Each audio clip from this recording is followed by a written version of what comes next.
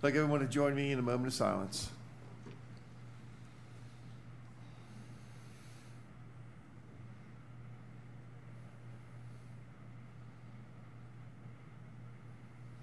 Thank you. And the pledge to the flag. pledge allegiance to the flag of the United States of America and to the republic for which it stands, one nation, under God, indivisible, with liberty and justice for all. We do have some public hearings today. If you're here for a public hearing, there should be a sign-up sheet in the back. Don't everybody rush at one time. And we'll start with Positively Carroll, but we have, Chris, you have something to, to put up for Positively Carroll Yeah, I'm just going to take about two, All right. two minutes of your time this morning to give you a little update with uh, what we've been, the project we've been doing with the website redesign with Cortegrity. Uh, First of all, I have to say that Cortegrity has done a bang-up job on this project so far, and we'll continue to do such. We've been on conference calls every Monday, and uh, this is what we've got so far. We've only got two pages to demo today for what the website redesign looks like. And here would be our homepage. Wow. And you'll see the iconography here. Um, As we go down, the search engine is not working, of course, yet, but it will be very robust when we have it online in the next few months. Uh, Here's information, we're county news. The great first picture. See, I doctored that.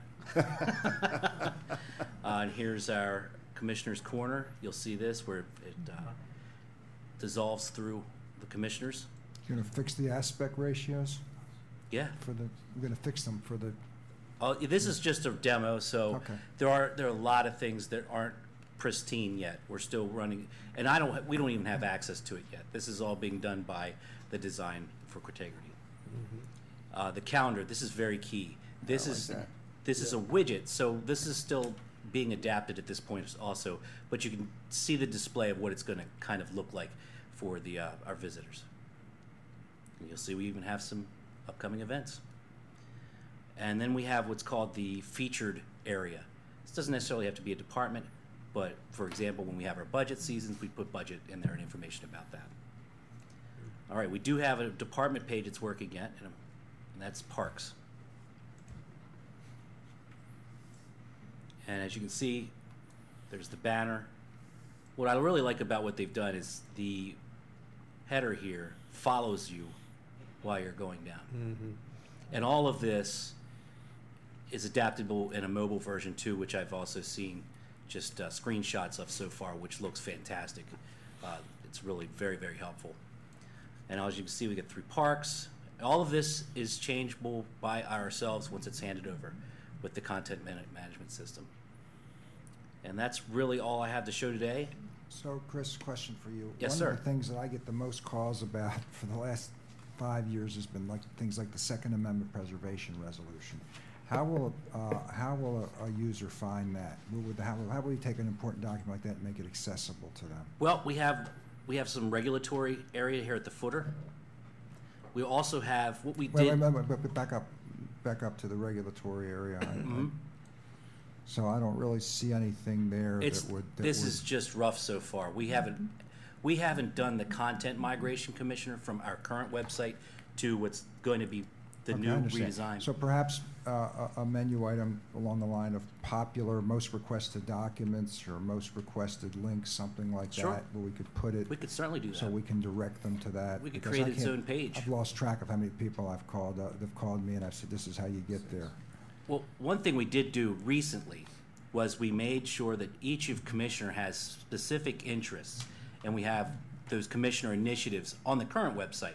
So all of those things are right there also. And that's good, but I think some of these things, uh, I can think of multiple things, whether it's the Freedom Plan, whether it is the Second Amendment Preservation Resolution, they transcend any commissioner. They are things of broad interest to the whole They- county. Sure. They do, but they'll also, I mean, that's something they could access by the search capability, right? Absolutely. So if someone just gets to that top bar and searches for it, they should be able to navigate. Absolutely. Which you really don't have that right, right now.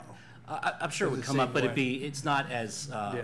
robust and as intelligent Right. as what our, our search Okay. will be with this. All right. Yeah. And what is, do we have a, a target date for going live? Our, our target date was you know, we're only today. Here, we're only here. For, yeah, I was gonna say, To be we're only here with for a you. couple more hours. So what we did was, Commissioner, we really pushed, uh, I- w- Cortegrity stepped up to the plate and got these two pages so we could at least demo, so you could see what it's gonna, Sure, how the I appreciate navigation's that. gonna Yeah, work. yeah. Uh, we had some things hold us up, as you know, Yeah. and so we're gonna move forward. We're gonna look, we're looking to have this ready for December. Okay. The uh, ITS starts their code, what's called the code training on Friday, so tomorrow. Uh, and from there, we'll start, we're gonna launch the site, then we're gonna start our internal training Gotcha. for departments to learn how to make changes to their individual pages. Mm-hmm. I'll, I mean, I'll be on hand for all of that, of course. Yep. And the code training, so. All right.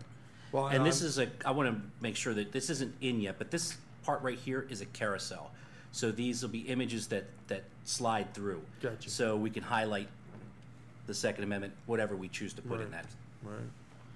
Um, well, I, I- I just want to say, I know uh, you've worked very hard on this. I, I think this is a huge, huge step forward. Uh, I think it's inviting. I think it's going to be much more navigable. I think the ability to access information, two-way communication. Um, and I think when we started thinking about what are we seeing from other jurisdictions that we'd really like to see, uh, you know, you've captured that. You know, ease of use, speed, those kinds of things. The devil will be, of course, in the details when you get it Yeah. get it up and running. Um, but uh, but I, I think uh, in, in terms of something that was a priority, um, I feel like you, you know we've done a nice job. So Thank you. good job. As Cortegrity t- said in our training last week, that this is a journey. This is something that will grow as we uh, go further and further into it. And I think very happy with the work they've This done so is far. user-friendly, I like it. Yeah, absolutely. And the mobile version looks fantastic, which I I like can't it. show to you yet. I think maybe even I could navigate this, and that's a You big can, plus. I'll give you access and you can change your own page if you'd like, Scroll- Commissioner. Scroll back down. Yes. How about on the front, on the landing page, but, but lo- lower, no, the other direction? Keep, going up, towards the Oh, up? top. Yes. Go- uh, I mean, how about on the landing page, um, something like maybe an American flag to help brand us? As you, Well, no, one of the we things stand that you for probably here. can't see yet is there's an American flag embedded in the commissioner's corner here. Um, That, when we, when we printed it out, you can see it better. Well, I'm talking about the landing page. I, I- I think, I think on the landing page, I mean, you know, Carroll County, let, let me just We- say something real quick. This is my last session. I-. I'll ask my commissioners to just bear with me for just one minute. I'll make it short, but you know, you know, I've, I've done a lot of thinking about this issue of marketing the county, and I've looked at how other jurisdictions, and you've all seen a video. I showed you a video from Tennessee that you all saw. I think all of you have seen it. You know, if you're gonna have a marketing campaign, you need to know who your target market is. If you want to sell hair tonic that makes hair grow, you target bald men and, w- and women, right? You, and and fact, is the people most likely to move to Carroll County right now are people in surrounding counties that are fed up with the politics of the surrounding counties and want to come to the last red county remaining around here.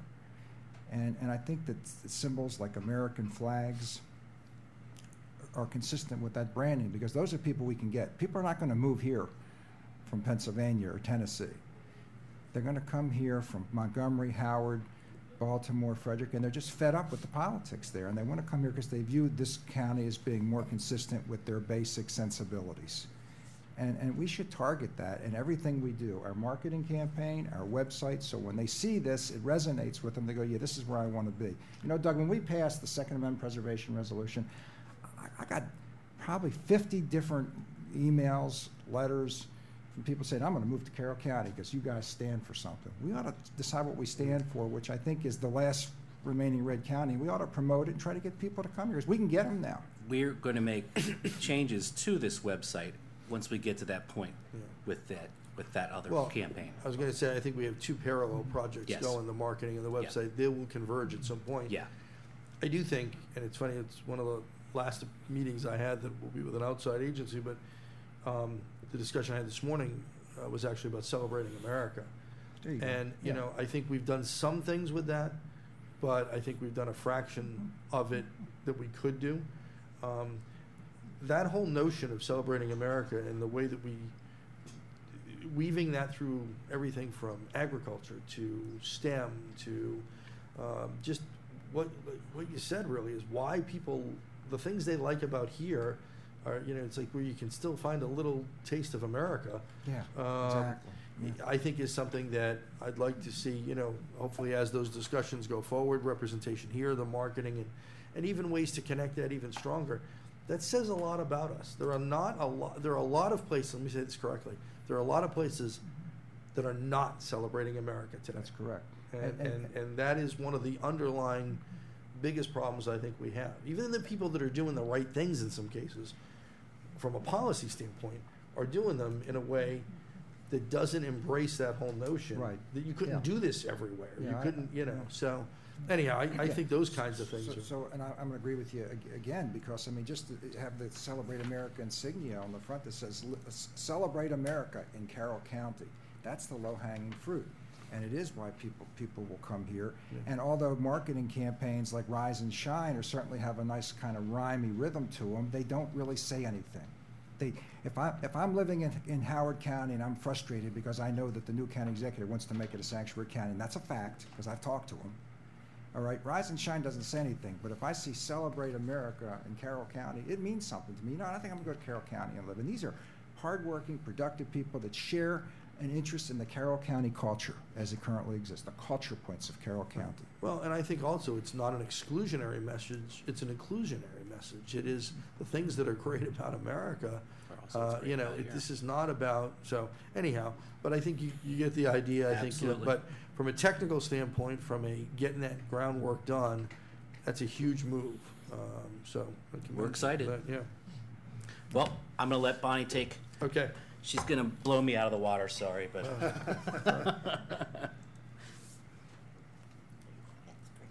Good morning, Commissioners. Morning, Bonnie. Thank you for allowing me to share a few positively Carroll things this morning.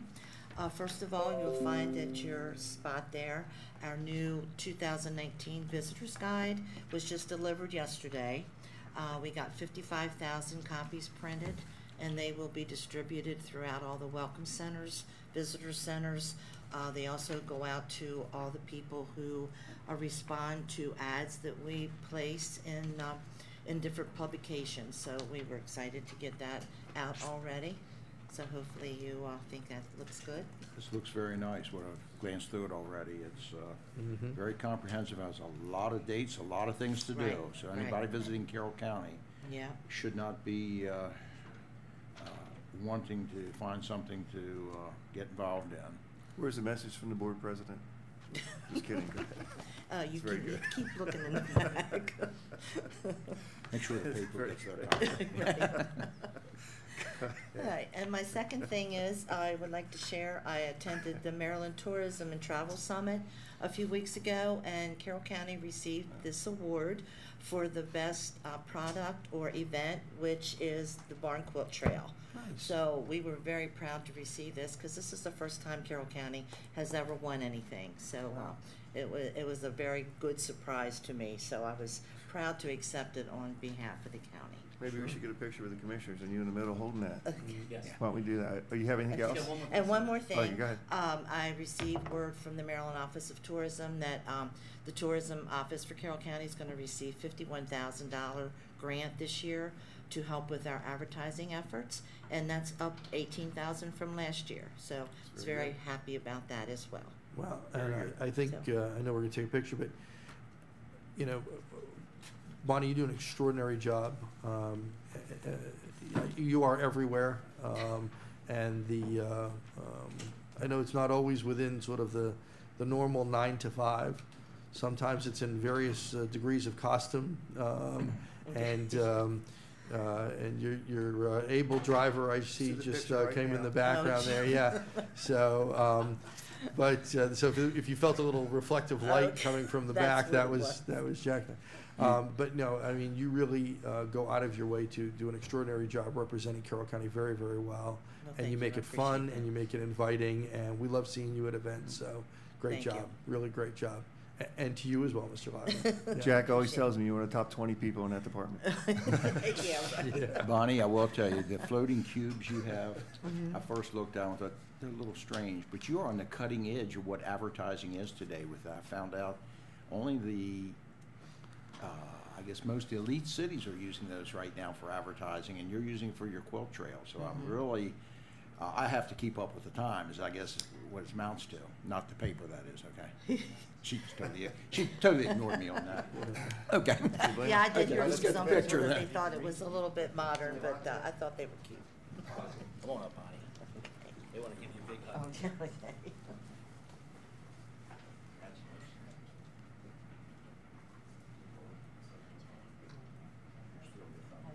Right here, commissioners.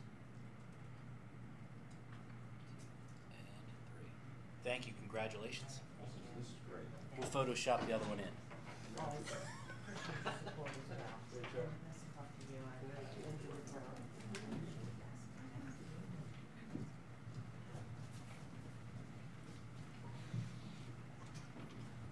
Well, it's been very positive so far this morning. Yeah, very positive. Does anyone have anything else to add for Positively Carroll? I'd just like to say, uh, Commissioner Frazier and I were at uh, HSP groundbreaking ceremony yesterday, uh, and that was uh, a nice event. Um, It's a new facility coming to Westminster. I think uh, it's going to really move things along, helping people get back on their feet and moving in the right uh, direction. And while we're, I have the microphone here, I do want to mention Friday night, Hampstead tree lighting ceremony, seven o'clock, downtown Hampstead, major event. Mr. Burke, I guess you'll be there, uh, as usual, to light the tree, bring the family. Uh, It's a kids' event, uh, which is great. And December tenth, right out front, the trees get lit here, it's next week, uh, whatever day. Monday, I think. Monday. Uh, Anyway, there'll be the carousel put up and the tree lighting here. So uh, if you want to take your wife, uh, friend out or kids, come to some of the tree lightings and uh, enjoy Carroll County. Right, they, you know, they lit the tree up at the Rockefeller Center and the White House, and we wait till after that so the crowds, because we don't want to split the crowd up between three different venues. So now people can do, you know, all three if you wanted to. That's why we're doing ours later. But it's, it's good. And also, I have to say about the HSP groundbreaking, I like things like that because I when, when we help people around the county and the HSP helps everyone, you know, around the county, I, look at it giving them a hand up and not a handout. Hopefully, what we do, or HSP does, and, and the nonprofits do, help these people get on their feet again, help them through some tough times so they can become productive citizens for Carroll County, and of course, contribute to our tax base. But uh, I think, so I think the HSP groundbreaking is a great thing. Anything else for positively, Carroll? All right, let's move on to our first item. We have a public hearing on a financial assurance plan. We have Tom Devilbiss, Gail Ingalls, Brenda Dine, Tim Burke, I believe. Tim, you can stay there, it's okay. Good morning, Commissioners. Morning? Morning. We're here today for you to hold a public hearing regarding the financial assurance plan that has been advertised duly as uh, needed. We uh, briefed you on that on November 8th when we asked to hold this hearing. Just as a reminder, this financial assurance plan, it is part of a requirement by the state of Maryland under uh, Section 4-202 of the uh, annotated code of Maryland. It is related to the Stormwater Protection and Restoration Program, which again is related to stormwater remediation fees. Uh, This particular public hearing and this process that we're going through right now is required every two years. So 2018 is the year that we have to submit what we call a full-blown financial assurance plan to the state. And the purpose of that is to show that we've adequately funded our stormwater remediation program for our National Pollutant Discharge Elimination System Municipal Separate Stormwater Phase One permit. Still got it. That's awesome. Uh, And so that is to ensure that we funded it adequately this year, and for the next two years, uh, there was adequate funding for this program, which, as Carroll County always has, we do adequately fund our, our stormwater remediation process. So today is the opportunity for uh, the public to provide input. Uh, At that point in time, we uh, would hope that you would consider the uh, approval of this plan so that we can submit it. It is due to be submitted by the end of, of this uh, year, 2018, excuse me. Don't get ahead of yourself. Yeah. All right, Mr. Burke, do we have anybody? We have no comment cards, but does any member of the public have any comments on the financial assistance plan as proposed? All right, then, I guess we need a motion to close the public hearing? Mr. President, I'll move we close the public hearing, leave the record open for ten days. Uh, Can I, Huh? I'm sorry. Do you not want the record open? There is no requirement to hold it open for ten days, commissioners. If you would like to move forward, that's, that's completely up to you. In other words, the new board will be brought on, they'll have to be brought up to snuff as to what a financial assistance plan is. It's up to you. Well, in the interest of um, moving forward on something that has no public comment, I mean, I'll rescind the motion. um, I'll Throw it back to you. Do you want to have some discussion on it, or what what are we looking to do? Well, I mean, I, I'm okay with closing the public hearing and, and uh, accepting the uh, financial assurance plan. All right, I well, don't know if- how the other commissioners feel, but I'm, I'm, I'll be okay with that. I didn't see any great heartache with anything. I think, yeah, you've done a great job uh, putting this together, and I think it was brought out last week when we were talking about the Noxie River, the type jobs you guys are doing here. mhm. Um, so- Thank you. And, and again, this, this plan, not just with the Bureau of Resource Management and- and Ms. Ingles, but our budget office, uh, Lynn Carr, and our accounting's office with uh, Doreen, have been great process here. I We're don't great always agree working with your together. outcomes, but I agree with what you're doing, and you do a bang-up job on it. We appreciate that, Commissioner. Mr. President, in that case, I will make a motion that we accept the financial assurance plan. I'll second. All right, we have a motion and a second to close the public hearing and accept the financial assurance plan. Any further discussion? All those in favor? Aye. Thank you. Thank you very much. Thank you. Now we're moving on to a public hearing for code changes for Chapter 151, Stormwater, and Chapter 152, Grading and Sediment Control. Okay, thank you, Commissioners. Well, uh, Mr. President, this was, uh, this is a public hearing on Yes. the ordinance amendment. You you mentioned it, uh, it was advertised in the Carroll County Times on November fifteenth and November twenty-second, two thousand eighteen. With you is Tom and, Tom and Gail are still there, and they can give you a full summary of the uh, legislation. Yes. Again, we presented these to you on November 8th. Uh, They are two separate chapters of our Carroll County Code. The 151 is the Stormwater Management Code, and the 152 is the Sediment and Erosion Control. At that time, you did ask for some revisions to those, and we did follow through and make those revisions. We forwarded those to you, I think, on November 13th, and I think we did get a response from Commissioner Rothschild that, that you were, uh, I think, pleased or happy with those changes that we, we put in. Still got one word that's troubling me, just one word. I'm Okay. sorry, but we could probably fix that administratively. But I won't let you finish your presentation. No, It's no. At the very end, it goes back to the, to the penalties again, I'm sorry. Okay. But you can go All through right. your presentation, then we can talk about it when we get No, there. no, that's I okay. think you'll be okay with, with my concern when we fix it, and we can fix it. All right. So within chapter one fifty-one, which again is the stormwater management, we made numerous, um, slight modifications to it, both some of which were state mandated and some of which were, uh, staff generated. Most of them were clarifications on, uh, policies or procedures that we are doing now, uh, implementing through a policy. Uh, we also made, uh, subsequent changes to the stormwater management manual, which match up with the code changes that we were proposing at that time. In chapter one fifty-two, the grading erosion sediment control, again, we made modifications based on some state requirements. Most of those were required by the state. There are new legislation that passed through the state, and those items we felt actually made the sediment and erosion control chapter, uh, for lack of a better term, more lenient and more, more workable. So again, those recommendations, all those changes, we would highly recommend the Board of Commissioners consider at this time. Just one clarification. Yes, sir. Um, I guess it's on page 11. Um, Of which one, sir? Is it, Of, uh, it's 151.01016. okay, oh oh okay? 5,000 square feet of disturbed area is cumulative over what period of time? It's a cumulative basically forever. So if, if you disturb five thousand square foot in twenty eleven and you disturb another in twenty seventeen, that's considered ten thousand total square foot on that property. And so as the years go on, um, that becomes an accumulative, just similar to the forest conservation law with the forty thousand. Okay, isn't that kind of, uh, I guess, harsh over, it could be 20 years difference and it still could add up, or 30 years?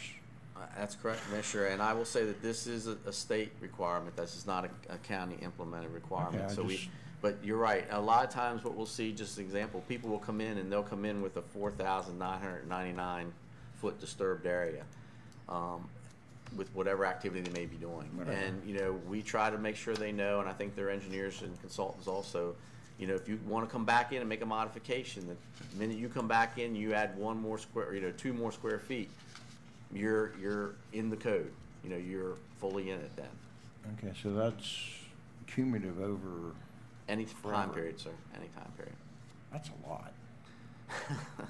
I mean, you know, I will not I would say disagree. over five, ten years or whatever, because, you know, things are gonna get replanted, regrown in ten-year period or twenty-year period. It's not, you wouldn't even know it was done. Now, they're restricted in the future. Uh, That's correct.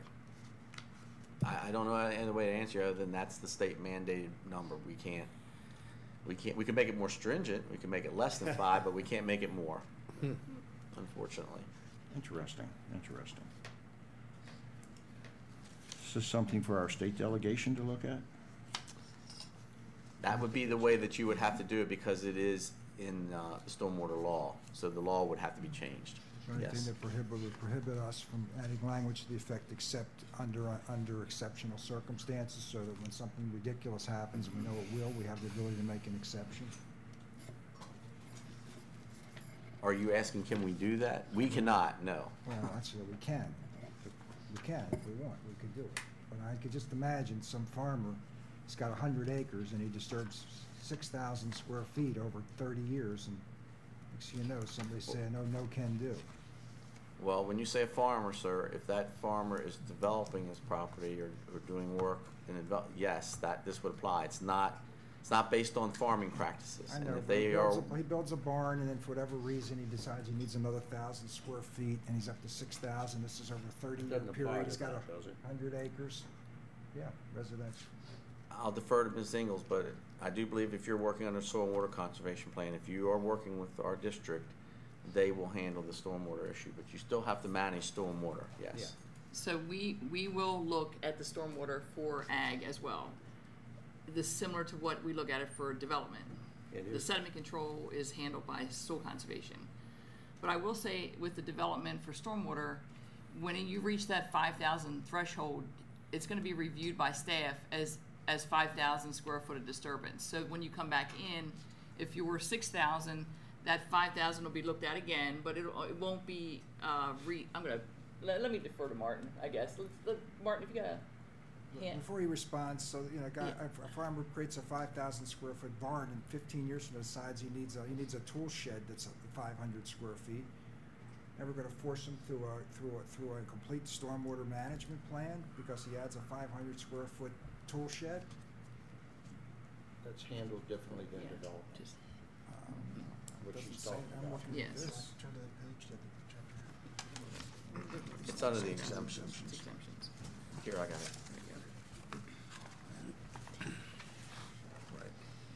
Well, if it's a farmer, let- let's do that one first off. That was just And an he's- arbitrary example, it could be. Right, right, but the farmer's a commercial very good business. example because It we could be a have- commercial business. But go Well, ahead.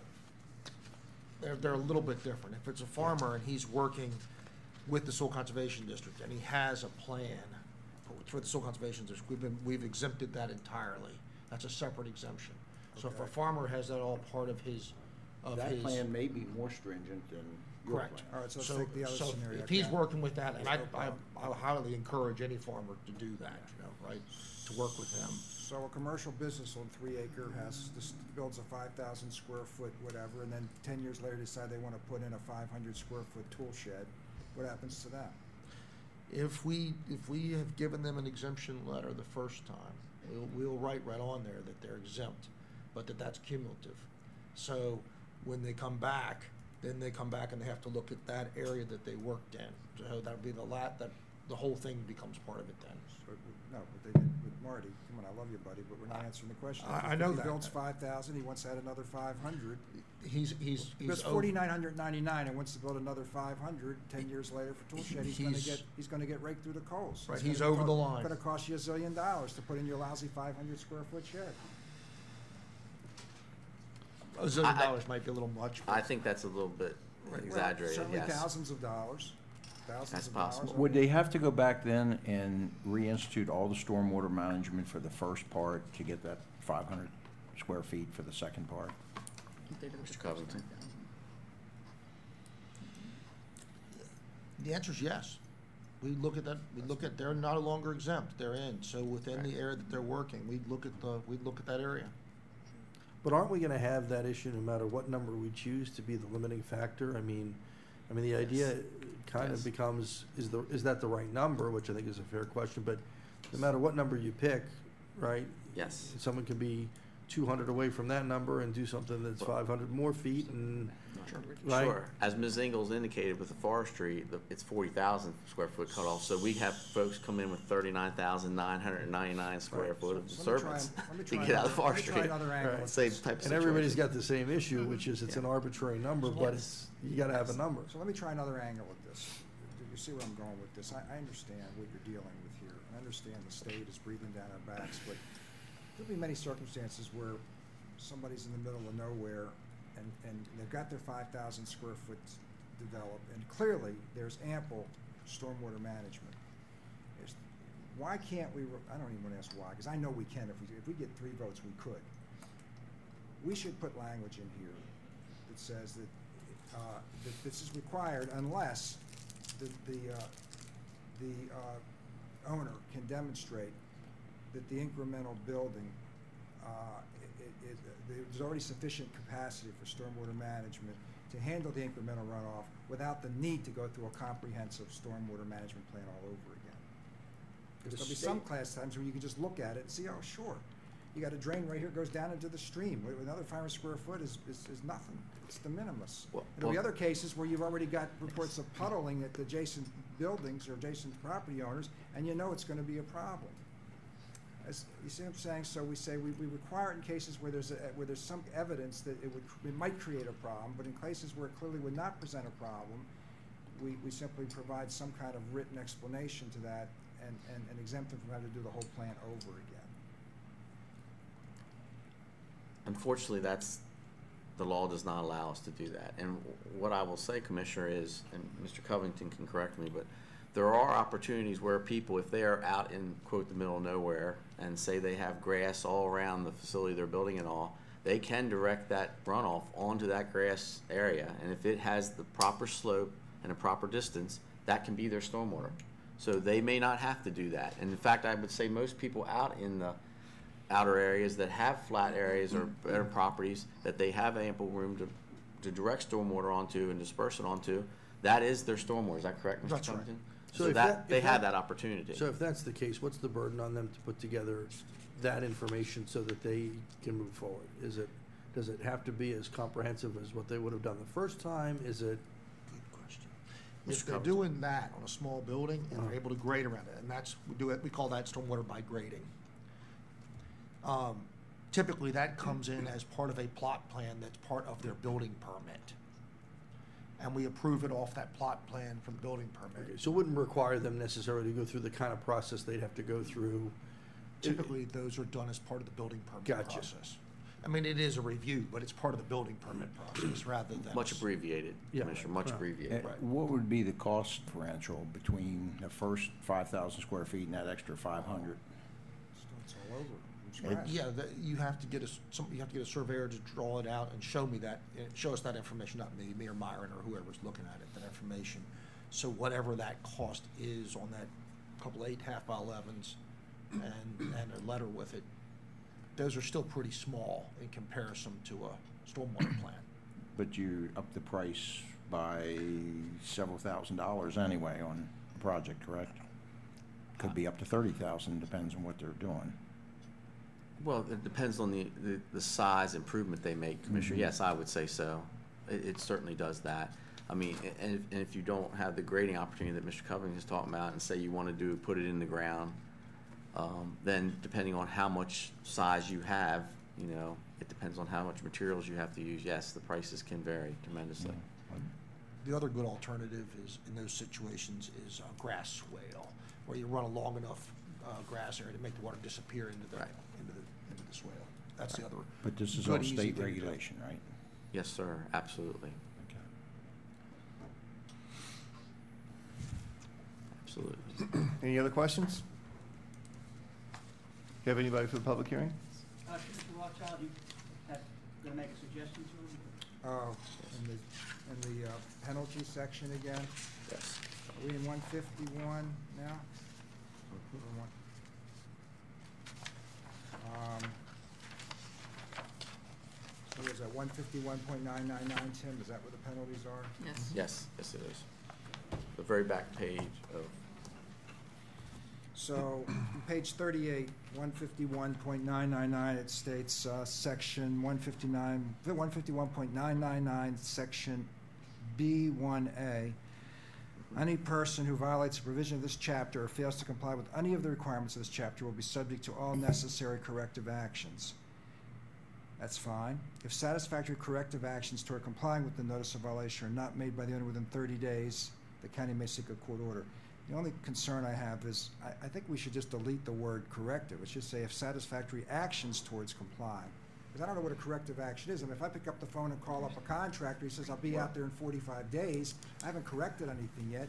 It's, it's, it's an attempt to get a quote. So I'm distinguishing between an action in good faith towards compliance versus a corrective action, which to me, the connotation of corrective action, I've actually got shovels in the ground and I'm making changes. So I'd like to see the word corrective deleted. I think, and and Ms. Ingles, if you could correct me if I need to be corrected, please.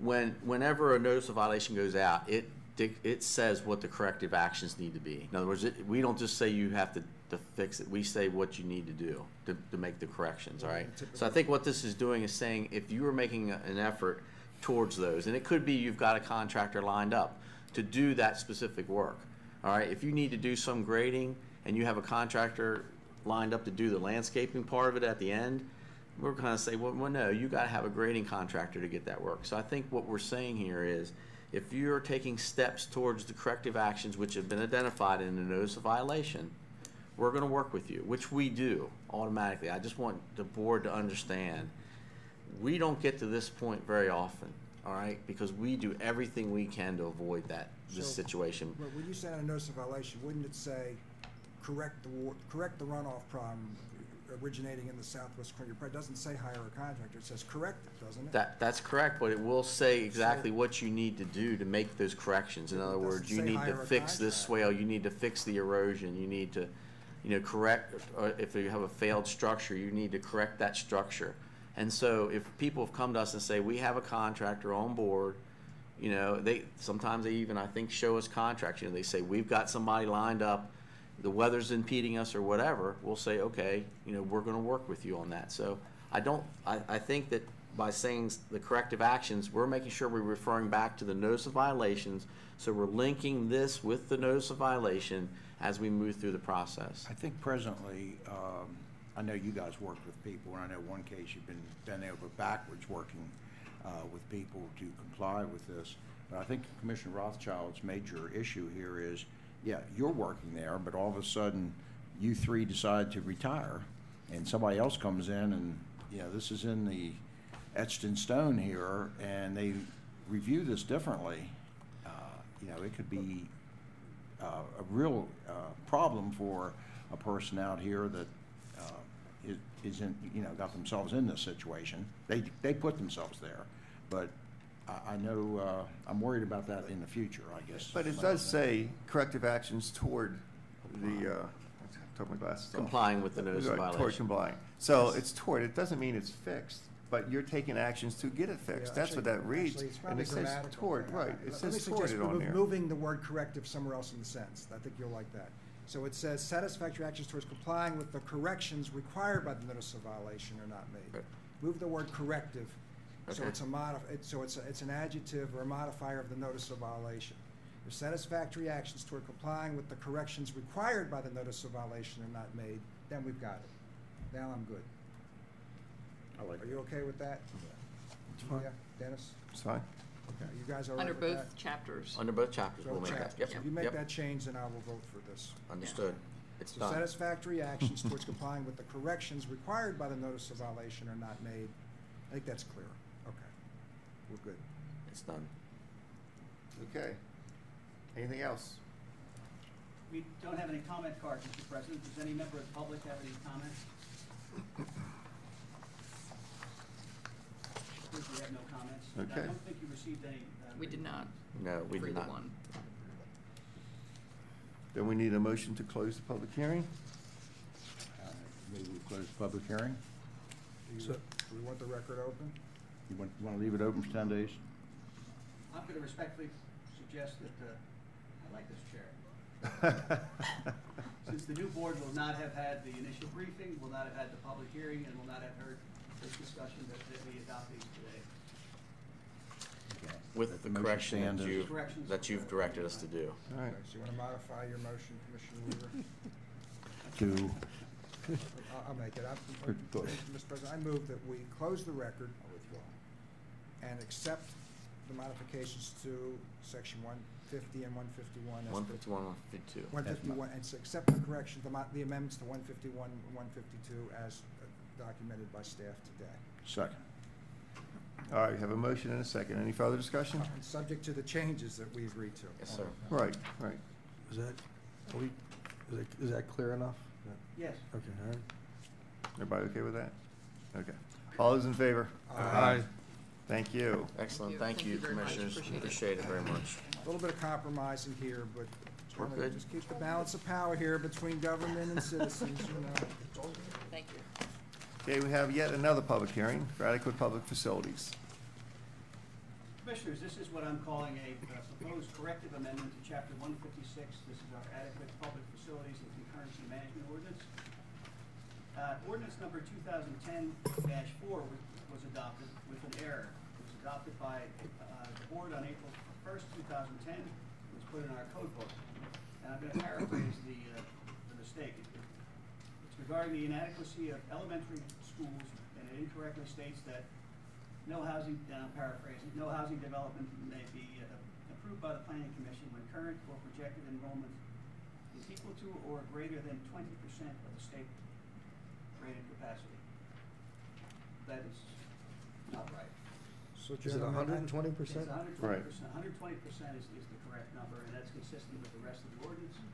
I was ready to chew out the publisher when we looked, we dug up the actual ordinance that was adopted eight years ago, and that number was, the twenty percent number was in there. So I think it's self-evident, gentlemen, that the twenty percent was a typographical error. We also know from years of applying this that we have been using one hundred and twenty percent, correct, Tim? Yes. And, and therefore, I'm comfortable moving that the board adopt, the ada- adopt the corrected ordinance, which is simply more than the correction of a typographical error. I will second Uh, that. I have to, This is still a public Sorry. hearing. Mr. Mr. President, this was advertised in the Carroll County Times Oh, on yeah. November fifteenth, two thousand eighteen, and twenty-second, two thousand eighteen. And, uh, I have received no comment cards from the public. uh, Okay. No, uh, written comments were received. Then we need a motion to close the public hearing first. Okay, then I'll move we close the public hearing and adopt the corrected ordinance as described by our county attorney. I'll second that with the understanding that the error was made before the 59th board was seated, and this was not our mistake. And, and before the, uh, county attorney. We don't need that part. I'm not gonna speak to that because you were in the building, so. Commissioner Howard, I accept your friendly amendment. Okay. All right, we have a motion and a second. Any further discussion?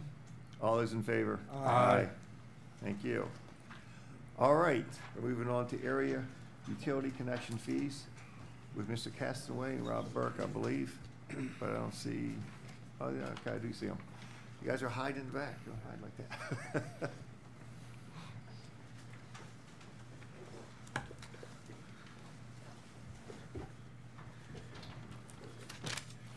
Good morning, Commissioners. Morning.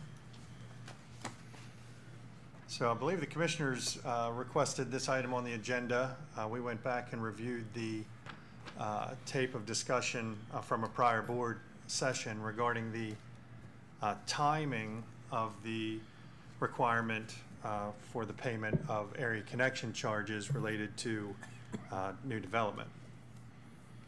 Um, So at the board's pleasure, I can either do uh, a little bit of a background about what the current process is and, and how, how it's applied, um, or we can delve right into the, to the meat of it, So- however so- you want to so- proceed. So let me keep us focused. I asked for this after meeting with some developers, and there was really a, a specific instance this applies. So let me start by telling, saying where this doesn't apply. Clearly, if we have a lack of water and sewer capability, and, and, and approving a two hundred unit subdivision is gonna require us to build more capacity, or even to run the pipes, we need to have the money as soon as possible to defray the cost of. No, no, no dispute there. But the interesting scenario that was painted to me, which is one that's quite likely in Eldersburg, Doug, Dick, is that we have the capacity, and water sewer capacity already in existence, and the developer himself has agreed to absorb the cost of, will absorb the cost of running all the pipes and conduits needed for the water and sewer, and he says, look, if I'm gonna spend the millions to run the water and sewer pipes, you don't have any additional capacity, because you already have the excess capacity. You're killing me, Rich. I gotta spend the millions to run the water and sewer, and then you're gonna make me pay the connection fees potentially years before I actually connect up, which is impossible to finance. And he says in other counties, the way they do it is you don't pay the water and sewer fees in those kinds of circumstances until such time as you pull the building permit. And I said, you know what? I said to the developer, if we have the water and sewer capacity already, so we don't have to add any more capacity on our end, and if you're the one that's gonna run the water and sewer lines at your expense, then I would agree that in that situation, it would be reasonable to defer the payment of the connection fees until you pull your building permits. Just So- that one situation. So if that's the case, how, how do we know who's planning on that capacity? How do, how does that information come Well, to the us? capacity would be allocated at the time they record their plat, their record plat, right? Well, right now, it's, the allocation is by, is by payment. When they make the uh, purchase of their allocation of capacity, then we take on the commitment to provide such capacity. So I would argue then that at the time they sign a public works agreement and agree to put the water and sewer lines in, at that point in time, if we, should- I think it's reasonable for us to take the position that if the developer agrees to absorb the millions of dollars to put the water and sewer lines in, at that point in time, in exchange for the developers agreeing to pay the cost of that, instead of the county, that we could, we should go ahead and lock up the allocation for that developer. Well, doesn't that cause a problem though, if we're coming close to capacity? Someone can lock up that capacity and then not do anything with the project for some period of time. Well, that's theoretically possible, but I'm gonna, I'm gonna take the position that it's highly, highly unlikely the developer would invest millions of dollars to dig up thousands of yards of concrete or grass to put in these lines if they weren't planning on developing. But but didn't Yeah, you but say it- though there could be a significant delay? That was part of the concern you had? What's the question, Doug? I'm sorry. I, I thought that part of your concern was that it would be a long period of time before they'd hook up, and they're paying well in advance of when they'd need to. Well, that is a concern too. I mean, even if it's only six months to a year, I mean, th- we could be talking a, a million dollars. The interest on a million dollars could run a developer thousands of dollars per month. But isn't the enterprise fund for sewer and water kind of underwater anyway? We don't have the funding or keep maintaining?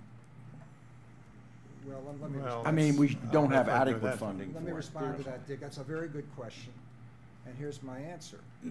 If we have the excess capacity, then we're not gonna be adding anything to our water and sewer plants, so we have no capital expenditures. If the developer is gonna put in the water and sewer lines, then we have no, the county has no cost for running them. And if they're gonna hook up additional houses to it, then that's more people paying the bill, which would actually improve the financial situation of the enterprise fund.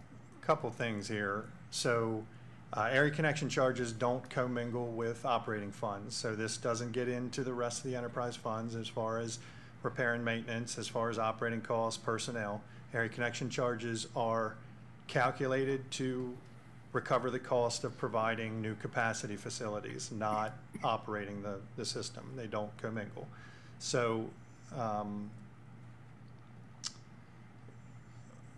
I think the piece we're missing is the reason the capacity exists and that, uh, you know, that would create the scenario where you could defer is because the capacity's already been constructed. And it's been constructed either with uh, the dollars we had on hand from others who've already paid theirs ahead to, to reserve and create the capacity, and primarily by issuing debt to build the capacity. And so the payment coming from the developer you're talking about is really a reimbursement to meet the debt requirements of capacity that's already been constructed. Okay. So, um, you know, the cash to pay the bonds comes from the connections. Okay, but I'm not saying that we shouldn't collect the money, I'm just saying we Right. collect it if they sign a public works agreement and they agree to put the water and sewer lines in, because we have a firm, we have the capacity, we simply wouldn't collect it until they pull their building permit. Let, me bring up this scenario, and I'm not sure where this development is being constructed, but let's just use, uh, as an example, west of Gaither Road.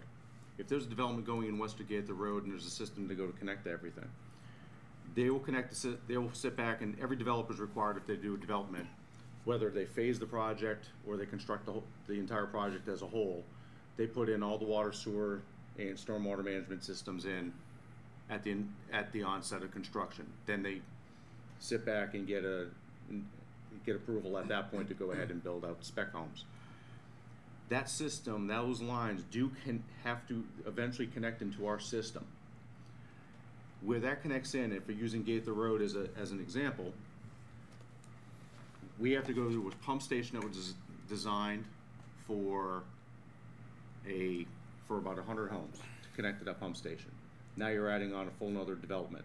So that, the increase in capacity would have to happen to that pump station, that line that goes from that pump station to where that goes gravity, goes into Sykesville. Upgrades would have to be for capacity in downtown Sykesville to that pump station to get it to the wastewater treatment plant. Each one of those projects could take year, year and a half between design, permitting, construction on the county side to make sure when they go to start connecting in those homes, they have a place to put that capacity, to put that capacity of, and I use sewer as an example because if there's anything that we, you know, where we're tight, we're right at about 80, 81, 80.1 percent of our allocation capacity.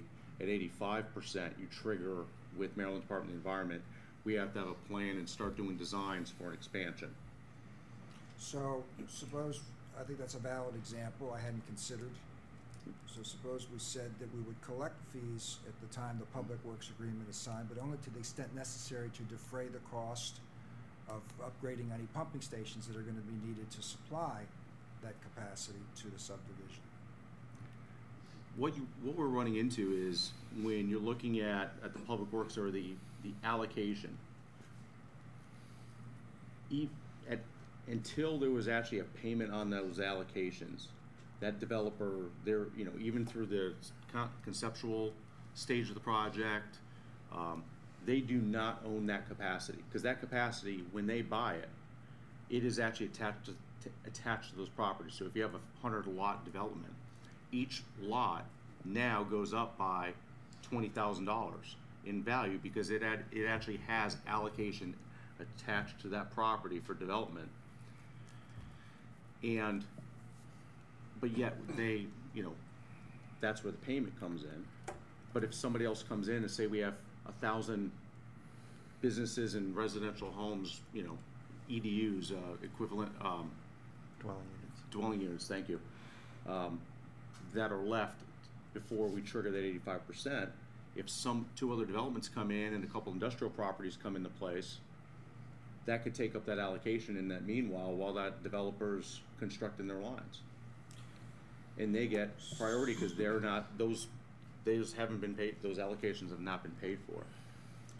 I mean, in really, accordance with the ordinance. I mean, given some of the constraints we have in the area we're in, I think this came up actually when we talked about the Warfield project, um, is that if someone, and even, even during the Freedom Plan, if someone even pays for the allocation and doesn't move forward, we're still tying up allocation. I mean, at that point, they've, they've put money on the line, but it's still not the ideal situation for us. I mean, the use of allocation should be somewhat in accordance with, you know, the regular flow of things, because what it does is it artificially accelerates how quickly we're gonna have to expand our capacity, But right? it, yes, but it also provides the time to do so, so. I to, no, I totally agree. you know- So there's, yeah, I, I, I, and so I think it's a balance. But the idea also is, is that, you know, we, I hate to see a situation where someone gets a fundamentally different level of treatment because they happen to be close to or just after a capacity issue. You know, now there's some reality to that, but if you look at the long life of the area and the projects and those kinds of things, I had the same issue with the, um, um, what was the fee for, that we couldn't collect for schools, uh, the impact Impact fee. fee. Impact fees. You know, it's like, well, and I understand the rules, but really over the course of time, you want things to be very even and very predictable, if they can be, right? So it's like, well, if I happen to come in at a time where we're really close or not so close, do I get a fundamentally different experience than if I was in the other situation? I think ideally, we want that I not to be the think case. this change would create that, where uh, if you're nearing full capacity, then you've got, A, you'd be paying at subdivision, at the PW Public Works Agreement time. The, the developer would be financing their area connection and, um, and then, and have the risk and potential of delay of building permits until the capacity is provided versus once the capacity is provided, then on the backside of that, you don't have to finance your area connection, you don't have to pay till building permit, and other users' dollars are paying the debt to have built the capacity. You create, uh, you know, if that's a concern, that's the consistency and fairness difference. The only difference is timing. Let me suggest perhaps a compromise here, because I think there's good arguments on both sides. Commissioner, see what you think of this. Suppose we took the position, that if we know that the plants have capacity, if a developer signs a public works agreement, agrees to put in all the lines, then, then we would allow them to pay half of their connection fees at the time they, uh, sign the public works agreement and put, and, and record their plat, and the other half at the time they pull their building permits, just as a, a compromise, split it down the Let middle. me uh, ask one question on that. If they are- don't put the fees up until they connect, the taxpayers are actually footing the bill on this until, uh, through a bond or for that. Not taxpayers, but the remaining utility. Our, our money is taxpayers' money. Not, not in No. this case. This is all, all stays within enterprise fund, so the burden falls to the remaining eleven thousand users. So it's either that fund floats the money or the developer floats the money until this is hooked up, correct? Well, Is that oversimplification? Wait, Well, I don't know There's about nothing to float unless they're up- upgrading a pumping station. 'cause well, and that's gonna happen, you know that's. Well, not always, not always. Yeah, right. Sometimes it will happen. Right, pump Well, station, yeah. the, the, the calculation of the rate is specifically the projection of the total dollars needed to do all the projects divided by the anticipated eventual connections. I mean, it's not, there's not extra money, there's not, it, it is exactly the amount. It's exactly. To the Well, here's best of our here's the part estimates you're to be missing, able to Rob. provide If it. you make it easier for them to, to, to, to, to, to get the stuff built, once the stuff is built, it reduces the cost per, per user, per connection. If you already have excess capacity, you have a fixed cost that you're allocating over a larger number of households. So- Yes and no. I mean, Uh, it- it, it does uh, uh, for that moment, but it also accelerates how close we are to building the next expansion, right? And the depreciation on that is also gonna start to kick in, and it's gonna take upgrades more, the more use, the more upgrades, the more upgrade the pumping Well, stations I'd, kick in. I'd say I mean, it's, the master plan, the growth, the development drives the need for the capacity, not the other way around. The plant is built to provide the necessary service. But Doug, keep in mind, Doug, we're not waiving the fees. We're still collecting hundred percent of the fees. It's just we're shifting the timing out slightly. But I- we're not giving them, it's not like the uh, impact fees where we waive them. No, We're no, still gonna collect it all. Yeah, you change the timing, you change the, a- again, the, the, so collecting it at, um, at subdivision and public works agreement gives, I mean, I don't know what the average time is, something in the neighborhood of three years, you know, of ability to plan and construct and permit for capacity.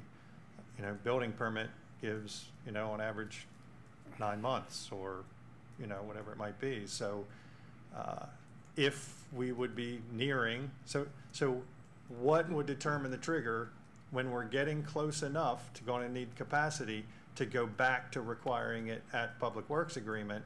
And, and how will that go over with the first developer who now has to pay at Public Works agreement instead of deferring? Yep, I And- understand. It's a and how will valid- they it's feel treated? valid- It's a valid concern. Of course, the thing, and, and I, I, unfortunately, I don't have my notes with me, but I was assured that other, other jurors, other counties are requiring it at time of, uh, building permit though. so others are doing it. It's a valid question, Rob. It- I'm it- not diminishing right. the value, the- I understand And I your would say it question. would If you're at the wrong increase- point in time, you right. get hit harder than if you're at the right point in time, but maybe the answer is that since we've had excess capacity over in Eldersburg for what, a decade or more? May, maybe we adjust our, you know, maybe we adjust our business practices based on where we are in the development process. I mean, look at ag preservation. We built, we created ag preservation. One of the arguments twenty years ago was, well, we gotta stop over where our schools are overpopulated. Well, now, we're in a situation where there are people saying, well, ag preservation is helping de- deflate the enrollment in our schools to the point where we have underpopulation. Maybe, you know, everything is, there's a, there's a, there was an engineer named Guy Bias, an interesting quote on his wall. Vice President of Engineering at Westinghouse, Westinghouse said, everything is temporary. And the answer is maybe we just adjust our policies every five to ten years based on the build, the, the, the economic and, and, and capacity restrictions that we're facing at the time. So Commissioner Archer, what, what is the, what is the problem we're trying to solve though? I mean, what is the concern? Well, the, the developer's position is that when they have to lay out large sums of cash up front to, to, to, to run, buy the land, run the pipes, then pay connection fees, perhaps, perhaps in some cases years before they connect, creates a serious uh, cash flow and financing problem for them. Well, well, paying the connection fees years, years before they connect ensures them that the water and or sewer is available and ready to go when they actually connect. If they don't pay the connection fee, and my understanding is, from what we've discussed so far today, is that they're only being charged what it actually would cost. We're not eh, putting excessive amounts of money in there and not getting charged any additional fee. It's not, it, it, they're being charged what it will cost that, to run whatever we have to run on our side for, for, for, for, for what we, we need to They're do. basically buying into the total cost of the system. The majority of these cars aren't, aren't about what's on the piece of property they're developing. Right. The majority of the costs Yes. exist in the plant that's down the, down the line. Right, exactly. But, uh, but they're, they're paying what it actually Sure. costs. Correct. We're not charging anything extra. And in, in order to assure that they're gonna have, be able to hook up when it's time to hook up, the fees have to be collected, wh- I guess, when we're doing them right now, so you have time to do all the work that's necessary for this to happen. Right, and if, and at the time, when the mi- the minute they pay that fee, that water sewer connection, that water sewer allocation is now attached to that property. It is an asset to that property How- that how- is then, if a two hundred, another thousand home development comes in the next week, and five hundred, there's only five hundred left on, five hundred left before our, mm-hmm. we have to delay for an upgrade to the wastewater treatment plant, it- you know, which could put it back five years, you know, three to five years to get that constructed, then that could be, you know, they're already locked in. They've already, they have their piece of the pie. So how many airline tickets, rental cars, or Kings Dominion tickets would you buy if you had to buy them three years in advance and pay for them three years in advance? Not many. Kings Dominion, I'm like, no, I'm just kidding. I'm just trying to make a Right, but we- point here, and that's why I suggested maybe we compromise on a case like this, and But maybe, we- that's- maybe we designate sections of the area, uh, uh, uh, But I think if, capacity zones. but if you want a, a suite at the Marriott Marquis that overlooks Times Square on New Year's Eve, you probably would bu- buy that hotel room two years in advance. You might be right, yeah. So I think, I think the scarcity is the issue. Yeah, well, it is, it is, and I'm certainly not suggesting we do this in areas where we're pushing up, bumping against the limits of our capacity. When in cases where we're not bumping up the limits of our capacity, it makes it easier to add those extra uh, properties on, which in fact defray the operating cost. Well, gentlemen, I, I, I wanted, I promised, uh, these particular developers that I would bring their arguments to the floor here. I brought them to the floor, we're not voting on anything today. No. briefing. I think one of the things that we should probably take a look at before deciding whether to proceed further is what our adjacent counties are doing, but I believe they're, they're, they're, they're collecting the time of permit.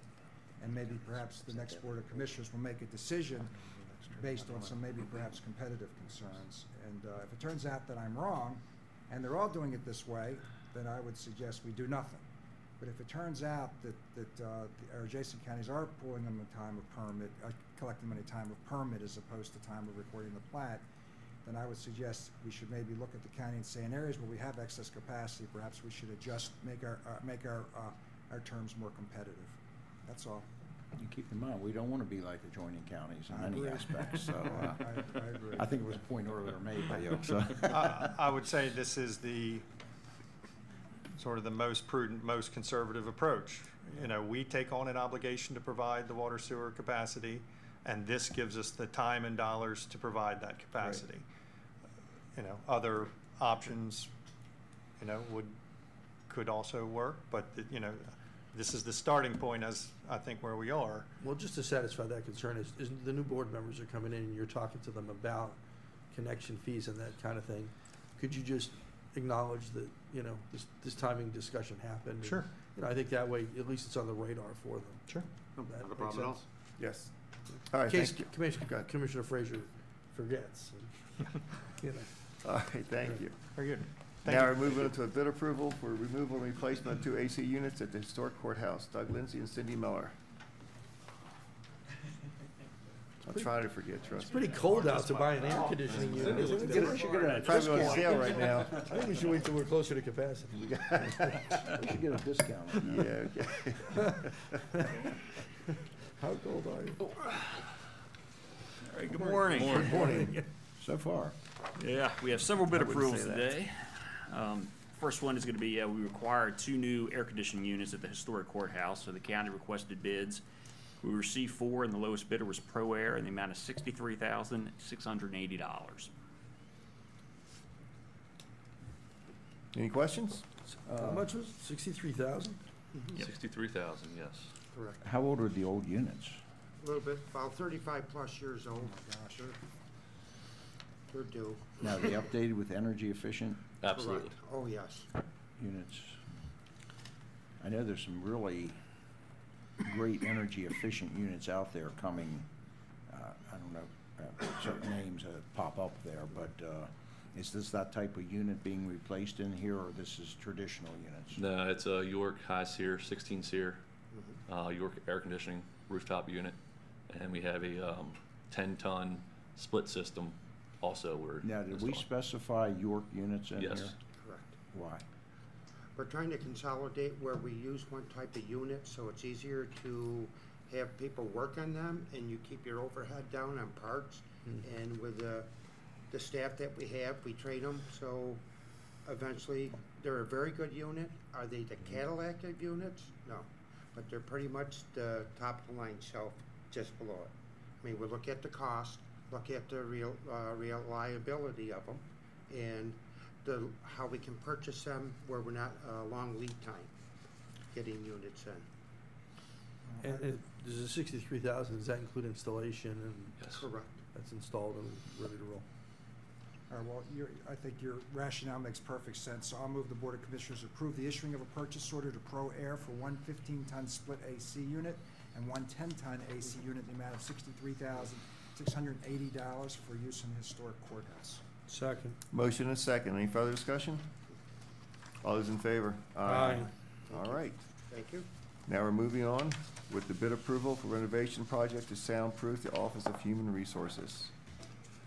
Yep, you about said it all there. We are going to go out to bid to soundproof the Human Resources Office. Um, Went out, we got three quotes. The lowest bidder was Starboard Construction, the amount of fifty-two thousand, eight hundred thirty dollars and sixty-three cents. Now, Mike, help us out here. What, what, what is, what are we actually doing? Is it all offices? Is it a conference room? Is it a, what's the, Actually, what it is, Commissioner, is removing all their uh, portable partitions down there. Um, And according to the different privacy acts, this will actually give each office down there someone personal information is explained to um, employees and stuff. This way, it it doesn't go out so everybody else can hear it. Right. This makes perfect sense. How many weeks is the renovation expected to take? I would say four weeks, to be honest with you. That's a fair number. but we're, we're doing all the offices down Um, except for Kim's or, um, Robin's. there? Okay. Yeah, but the other offices, yes, they're all portable offices. And, um, I'm sorry, but, um, Jackie's office down there, Okay. yes. That's why I haven't gone down to talk about anything, because I don't even overhear what I was going to say. So now I can do that. Yeah. Wouldn't a cone of silence be cheaper? That never worked. That is the best thing I've heard you say in four years, Commissioner Weaver. What are you trying to hide, Commissioner? That was, that was excellent. That was excellent. Oh, man. Explains right. why I saw you making a phone call with your shoe this morning. So, That's a good deal. Well, generally accept, I mean, generally, uh, you know, having been in, in this field of business for Digital Equipment Corporation, I know that we were very careful about where we uh, uh, uh, allocated acoustical privacy. Mhm. Uh, projects with security issues and human resources were two of the top two where we had to Yeah. protect the Exactly. privacy. Yeah, no, it makes sense. information. All right. Just need a motion to make it make sense Uh, more. Move the Board of Commissioners approve issuing a purchase order to Starboard Construction to soundproof the Human Resources Offices in the amount of fifty-two thousand eight hundred thirty dollars and sixty-three cents. I'll second that. Sixty-three cents. We have a motion and a second. Any further discussion? All those in favor? Aye. Aye. Thank you. All right, thank you. Commissioners, thank you. Couldn't hear you. No, I was kidding. Okay. Seems like we're spending an awful lot of money today. But you think they're afraid the new folks won't, won't wanna buy stuff or? Yeah, they don't have to spend a thing. No. Yeah, well, that's right. Okay, next item, bid approval, to update to, the- to design manual. Uh, Debbie Butler. s- I guess Mike is staying here. Your Yeah, name's not I'll on be the here for a list, though. while. Your name's not on the list. But we'll keep you here, don't worry about it.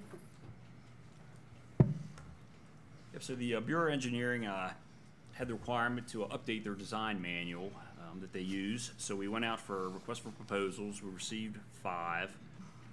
Um, After ranking the proposals technically and financially, we'd like to award to Whitman, Requardt, and Associates in the amount of two hundred forty-five thousand, two hundred seventy-nine dollars and seventeen cents. So they put it in a really nice binder? Is that what you're? What? The current manual that is being used is dated nineteen ninety-four. Um, scratch that out. And we, Yeah. What's a Sharpie cost? and there have been a lot of changes to federal and state guidelines, as well as, um, local, uh, policies. I'll use stormwater management as an example, you know, so the whole goal is to bring the design manual up to date so that we're meeting all of the current regulations. And, and the manual is used by anybody who's designing or constructing, you know, roads, storm drains, bridges within the county. It's used a lot by the, um, private development community, and these are infrastructure that we're ultimately gonna take over, um, and become part of our system. So what are we actually paying them to do? They're gonna go through the manual? They're and- gonna go through, see what has changed, um, check with other counties to see, uh, which I've done a little bit of already, um, to see what they're currently doing. Meet with, um, several working groups along the way, uh, to help write it, uh, get, get it in order, and then, uh, meet with various, uh, agents, agencies and, uh, groups along the way. Okay. And then it's gonna be in a, like, like right now, we don't, it's online, but it's a scanned PDF, so we wanna get it in a better format that we can put on, uh, the website. Wouldn't it be cheaper to hire someone internally to do this? Because they're gonna, our staff's gonna rewrite this anyway. Basically recommendations from each area. Uh, and then all you, you have to coordinate, I know, with the state and federal government and all that, but It, it's, uh, you're right, there certainly will be interaction with many bureaus, uh, whether it's development review, resource management, uh, the school board. It's, it's a very cumbersome task. it's a major task and And I it's gonna think- take how long? uh, we're planning on a year. So that's, it, it's a considerable, considerable amount of time for us to dedicate somebody in-house to do that. That's why it's been nineteen ninety-four since it's been done. Well, for, And what are they committing in terms of resources? I mean, how, we get, who, for how long, for how much? What, what, what is the, what are their specs on what they're gonna do for that? As far as the, what the consultant is providing. Yeah, I mean, is that for one consultant for that year? Is it for ten? Is it for No, a it's, certain it's number one, of con- hours? one consultant. They're, they're charged with, uh, the task of updating the manual for us and giving it in the format that we want. You know, so they'll provide all of their staff, um, office support, uh, CAD drawings, because we're gonna be redefining all of our plates that we have in the book. So they'll be providing all of those resources, as well as their time in meetings and, uh, working groups, that, that sort of thing. And financially, were the, were the financial aspects of the bid, did you see other bids, or was it a matter of, Oh, no, we took, yeah, we took a look at all the financials. We Okay. saw other bids. This was the so best value. there was?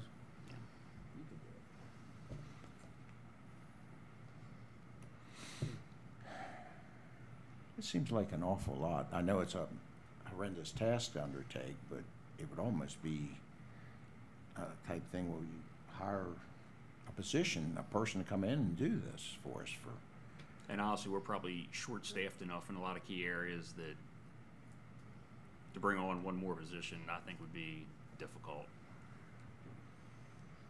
I- I- Essentially, that's what this is, you know, except we're hiring the company as we're opposed to hiring a company to person. do it and Right. at that level, but I think it's, uh, you know, if we hire a person for a hundred twenty thousand to come in and do this, that's a half the price of what we're getting from this company to do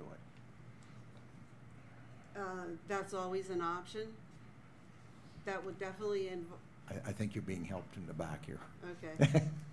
Hey, Jeff? Um, Commissioner, uh, what we run into is, while it'd be great if we could do this with a single staff member, you're talking with a manual, and this is similar to some other, uh, bureaus that we have. The manuals we're sitting, that we're working with right now are PDF format, these are things that were typed back in typewriter days, these things, these documents weren't even put in the Word, Word format. Um, all the drawings were done either on you know, onion paper, they were, they were drawn on a, on a desk with a T-square. You know, every, we need, this will be a full CAD staff going through, putting together all of our, all of our details, redoing, redoing the details to what the current standards are. So there's an AutoCAD staff doing the design work. There's going to be another part of that staff that'll be dedicated to writing the, the meat of this document.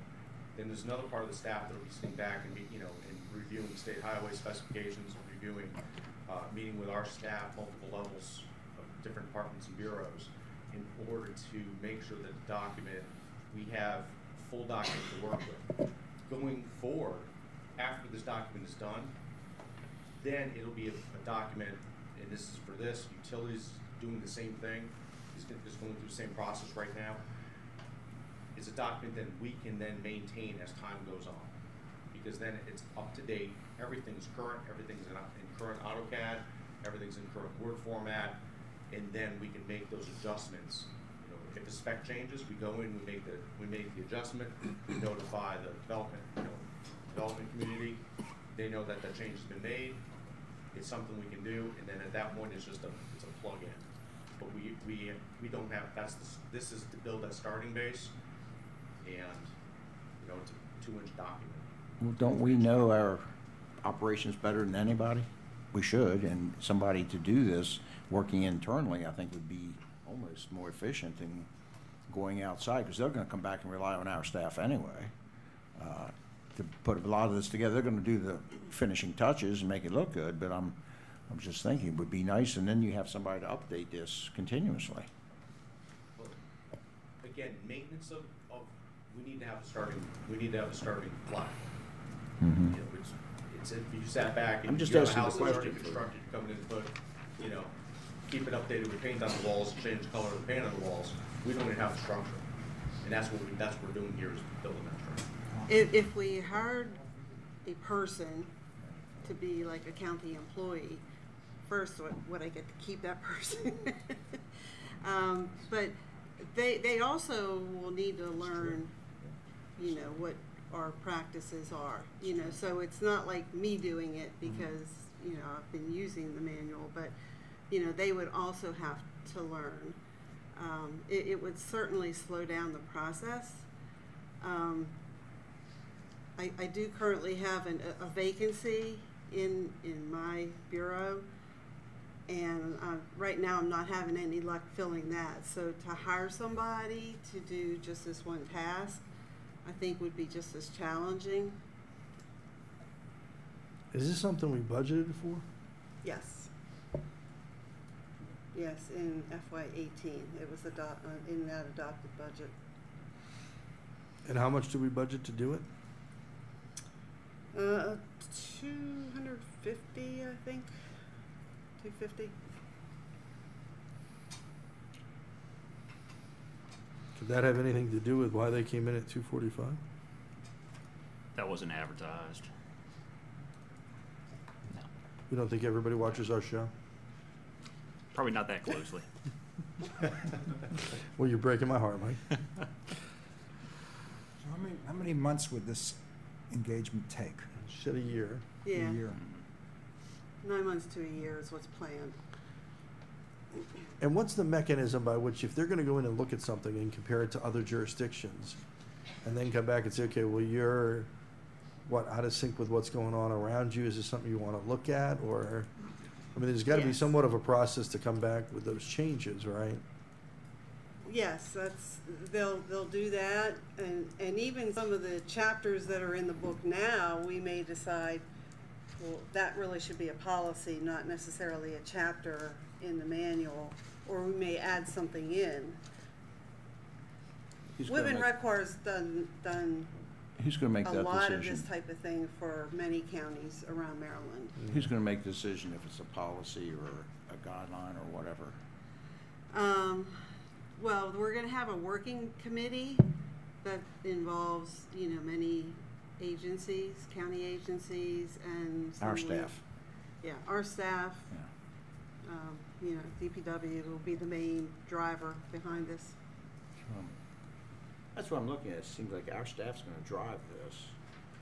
So we look at hiring a, somebody to do this, to guide it, make it happen with our staff working a lot, uh, I'd say a lot cheaper than two hundred fifty thousand, so. It's just my opinion, but it, it kinda caught me off guard on this one, though.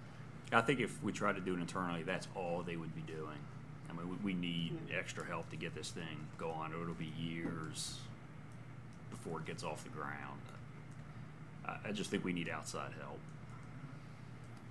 You paying There, for it? there have been several, Well, we're gonna pay for it one way or another, whether it's, Well, I mean, if we pay for a person that's in-house to do this and working on it, if it takes eighteen months, two years, you know, it's still cheaper than what we're looking at here. I'm, I'm just, I'm not using the manual every day, and I'm not, uh, in that situation, but I'm just being, uh, cautious, I guess, with the county funds. I understand.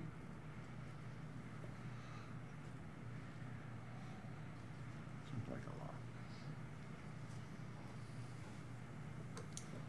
Any other questions?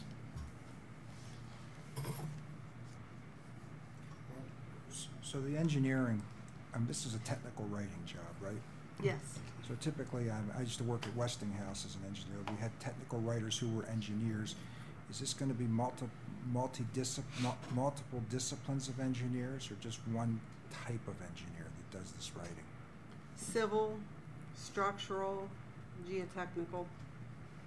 So they have that capacity within, um, their staffing to provide all of those disciplines. So going back to Commissioner Weaver's uh, thoughts, if we tried to do this in-house, are you suggesting that we would have to hire, at least on a temporary basis, multiple disciplines of engineers? Uh, potentially.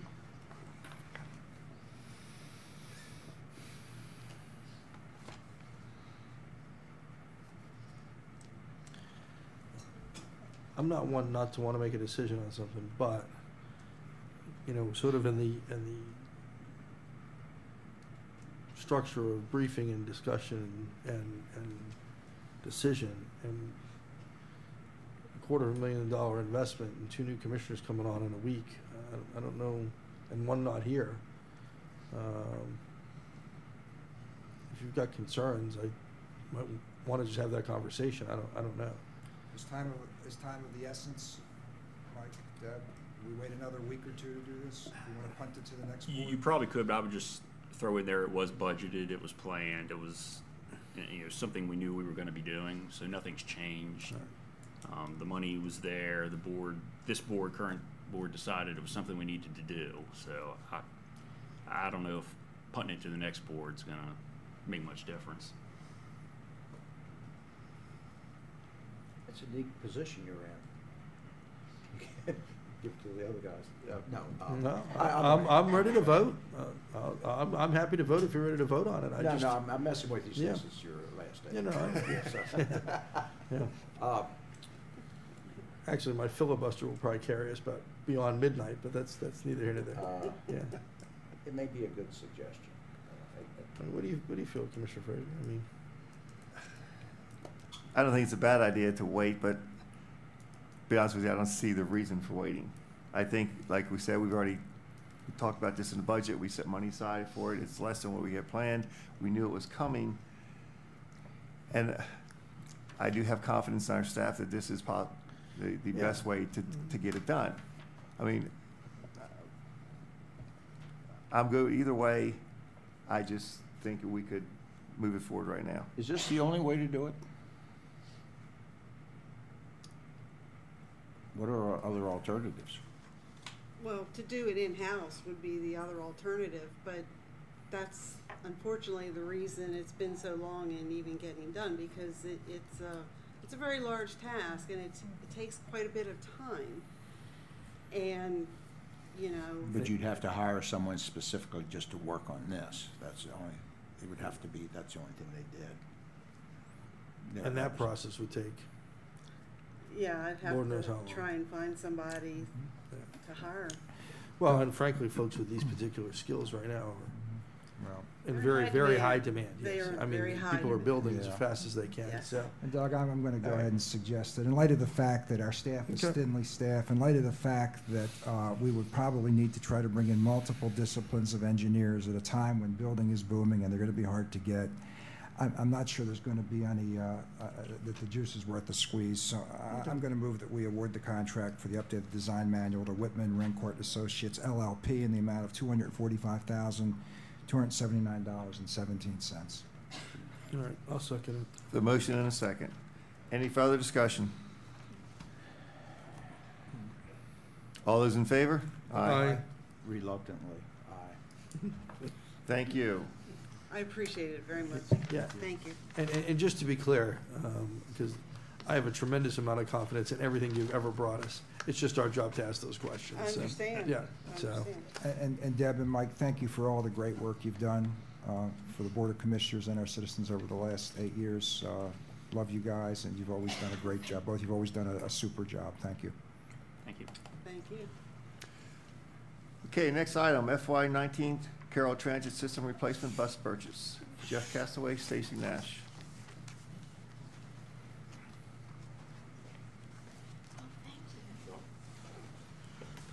I'm just gonna hang out.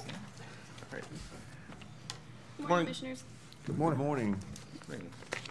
All right, uh, we're here today, um, requesting the use of, um, some funding that we have in place at this time, uh, for the replacement of three buses that we have under the current transit system. Uh, we have three buses that are over two hundred thousand miles, and when the estimates were put together back over a year and a half ago, chassis costs have increased by fifteen hundred dollars per unit. And in addition, um, look, in, looking at some of the requirements and what we have with our new system, the way we're running with, uh, our Trailblazer system, uh, we'd also like to ask and request electronic destination sign be added to the front of the bus for our Trailblazer systems, so we can start, and this is something we're looking to do, move, for this upcoming bus coming, being, being replaced, and for also future train, uh, Trailblazer buses. Um, Unfortunately, when there's a change in the chassis costs, the, these are not eligible for, um, any state or federal funding. So at that point, we are, we have to come, we have that, uh, funding that we're gonna be responsible for. We originally budgeted in our, under the transit system, uh, for ten replacements, we do hit, so our match for ten replacements, uh, is, the balance of that money is there, so we do have money within the fund, but we just need the permission to move ahead and use that to Oh. cover the chassis costs. On the list here, you have all three vehicles here. The additional funds for two of them is fifteen hundred dollars and the third one is sixty-seven hundred. That's the electronic destination sign Oh, okay. for that third vehicle. so this is just, this is not the whole cost. This is just the differential because of the, the change, is what you're saying. Right. Yes, So it's just the incremental difference. yes. Yeah, the nine thousand seven hundred and forty-two dollars. Mhm.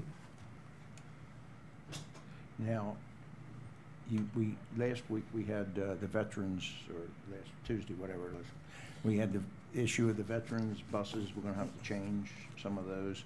Does this have any impact on any No, of that? that's, that's a discussion, that's another item that- for this afternoon. Yeah, but This it's is not- nothing, this is the regular But this operating. wouldn't have, we can't combine the two. No, this is, for this is, purchase. this is the transit, this is the regular transit system. So Transit, we've so already, there's larger already been bus. approval for the replacement of three buses. This, what happened was the cost came in higher with the cha, the chassis changed to a new chassis, so that cost increased. You know what the sad thing is? I think thirty-three eighty-six, it might have been 70. One of those was one of the newest buses we had when I left being the transit director. So How sad long have you that been is. away from that job? Uh, well, I've been here for eight years, so about eight years, to the, almost to the So- day. Yeah. It's- And, you know, two hundred thousand miles, what's realistic on these buses?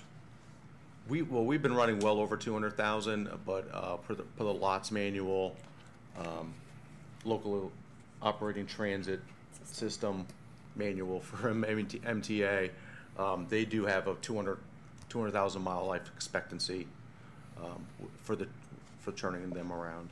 Because again, you start getting into structural, you, you start running into safety and then structural issues with, you know, suspensions, et cetera.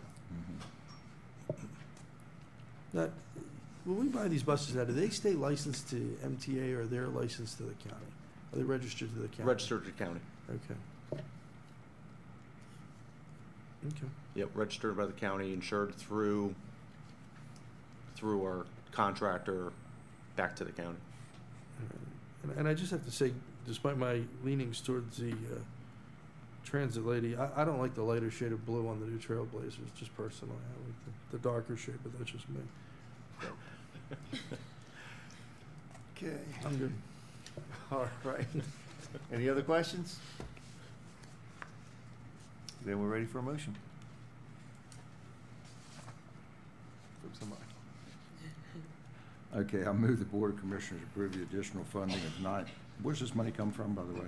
It's already in the, it's already in the fund, we just need approval to use it. Okay, Yes. nine thousand seven hundred and forty-two dollars for the purchase of three CTS buses. I'll second that. We have a motion and a second. Any further discussion? All those in favor? Aye. And I'll abstain. All right. Okay, next, we move on to Crest approval to use term contract for Hawk, Hawks Hill Road Culvert Rehabil, re, hold on, rehabilitation project. Want to That try was that easy. again? That was easy to say. Nope, one- once was enough. Say, yeah, say it five times fast. Okay. Good morning. Morning. You know he's one of the ones staying, right? I know. I'm just saying. You might want to be a little more selective with your. You want to take the lead? Sure. All right, this is, this is yours. Okay. This is uh, for a, a use of a term contract for culvert rehabilitation. Uh, The Department of Public Works Bureau of Roads Operations has determined that the culvert under the Hawks Hill Road near the Greenwood Church Road is in poor operating condition.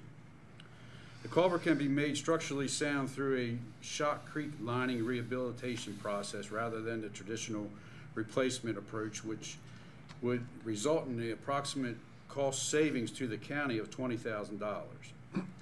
The general, in general, this project consists of the installation of a wire reinforced five-inch thick shotcrete liner to the invert of the structural arch pipes. Additional work would include sealing of joints, placing rebar, and filling the voids. The county has all necessary storm drainage easements, and permitting is underway with the Maryland Department of the Environment. MDE has granted approval to proceed immediately with emergency work. The location will remain open to single lane through traffic with a flagging operation during the work activity and fully open to the remaining time. The estimated time of, com- to complete is six working days, weather permitting. The quote submitted by Pro Shot Concrete Incorporated is thirty-six thousand nine hundred dollars. Pro Shot Concrete Incorporated has a term contractor, in term contract in place with the county, and the funding for this work is available. please authorize the use of our term contractor, Pro Shot Concrete. The cost for these linings now is, from what I'm looking at the difference, is Yep. going up a bit.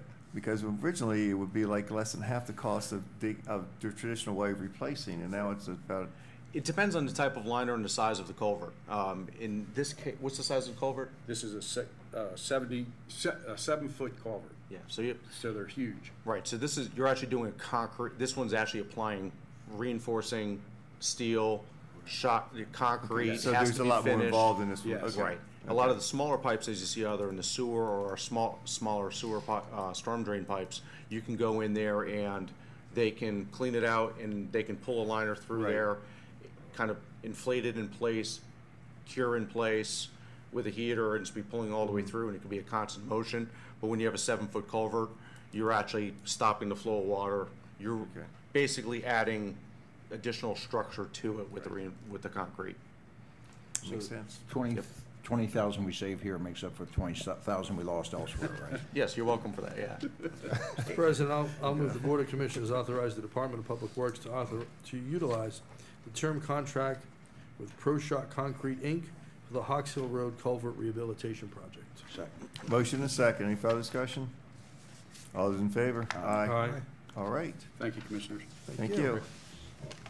Move on to bid approval for hydro jet cleaning FSK Force Main with being joined by Andy, Andy Wachner. Good morning. All right, we are now requesting your approval to award a contract to Specialized Pipe Technologies in the amount of fifty-nine thousand, seven hundred and sixty dollars, uh, to perform the hydrojet cleaning services at the Francis Scott Key Force Main.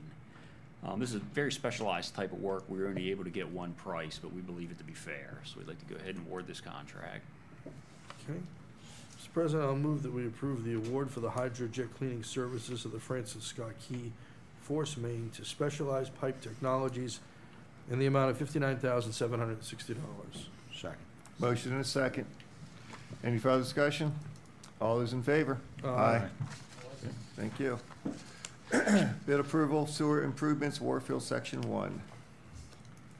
Yeah, for this award, we'd like to utilize Stan Balls Incorporated from Union Bridge. Uh, they're a county term contractor. Uh, I'd like to award this contract to them in the amount of seventy thousand, two hundred ninety-seven dollars, uh, for the sewage improvements at the, uh, Warfield, Section One. Are these improvements and upgrades? I mean, because of the new buildings that are coming in there, so we're making things larger? Yeah, when the system was, ta- when the system was taken over, um, it was a, there was parts of the system that were updated and upgraded, and there was some parts of the system that, I guess in others' eyes, did not need to be upgraded. When it transferred over to the county, we need to bring them up to our standards, Okay. and, uh, that's what this work is to be completed. What he's telling you is in my enthusiasm, I might have agreed as to a certain amount of as-is in the, uh, final document, so.